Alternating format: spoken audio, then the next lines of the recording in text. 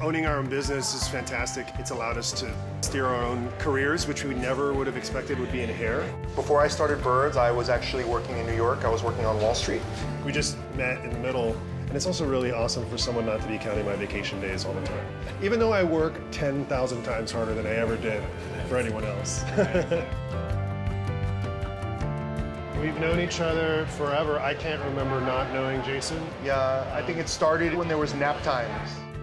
Our biggest challenge is kind of what to do next. We feel we, we've experienced a lot of growth and we want to keep that growth going. The idea to put a pop-up Birds Barbershop in the middle of downtown Austin during the biggest festival of the year, it's a tremendous opportunity.